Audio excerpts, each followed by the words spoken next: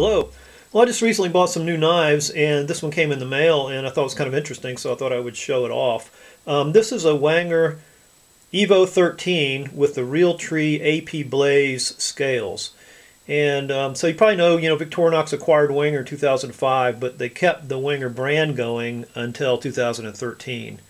But then ever since 2013, any Wenger designed knives like the uh, Evos and the Rangers have just been branded the Victorinox Delémont collection. But late, but in 2012 and like early in 2013, the Wenger brand was trying a lot of different things, trying to, I guess, differentiate the brand, try to pump up sales. And one of the things they did was they licensed these camo designs from a company by the name of Realtree.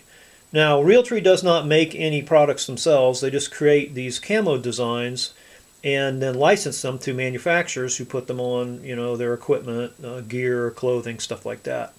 So Wenger, um, they licensed this AP Blaze, kind of a hunter orange, high visibility, you know, animals can't see it. AP, by the way, just stands for all purpose. I did not know that until I looked it up. Uh, they also had a hardwoods, which um, is kind of a forest scene. You know, it's green and brown with leaves and sticks and stuff, very camo. And then an AP Snow, which was kind of a forest snow scene. It's mostly white with some branches and things like that.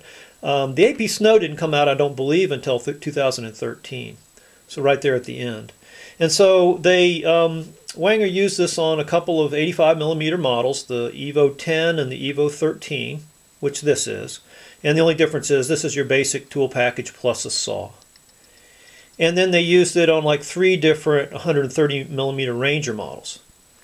Um, what's supposed to be cool about this, and um, I haven't been able to get it out and look at it, I want to talk about that just in a second, but the camo pattern is not the same from side to side. It's not the same on both sides of the knife, and it's also not supposed to be the same from knife to knife. So it's kind of interesting that you might get a unique pattern on your knife. Now this came in this blister pack and that disappointed me because I want to put this up as a collectible and keep it you know new in the box kind of thing. And with a box you can get it out look at it play with it put it back you know wipe it down we'll put it back. I don't want to cut the blister pack open. So we're not going to get a chance to look at it. So I apologize for that. However I was kind of delighted that it came like this. Again my light's not real good here but I don't know if you picked up on this but it came in a Victorinox blister pack and the hilarious thing is, is on the back it says, if it doesn't say Victorinox, it's not the original Swiss Army knife.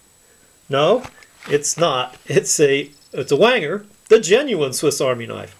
Um, so what they've done, obviously, is they were using up, you know, Wenger's old stock after they did the brand change. They were putting it in a um, that you put this Blaze 13 sticker here, but you can just see where it says S13, Evo S13 underneath it. And that's this Evo model here with the locking blade and the saw.